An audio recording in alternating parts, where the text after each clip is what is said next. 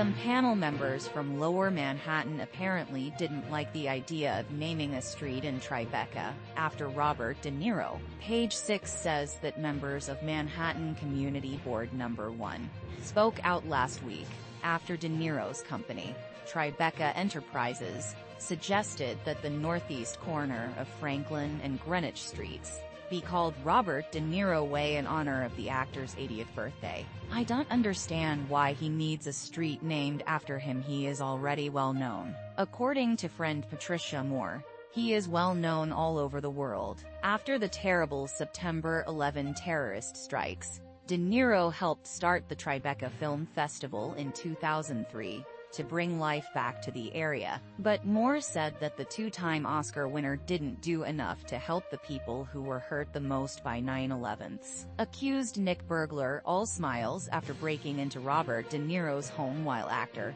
daughter inside reports at the corner, that would be renamed Robert De Niro Way, are the offices of the Tribeca Film Festival, the Raging Bull Stars restaurant Tribeca Grill, and his Tribeca Film Center.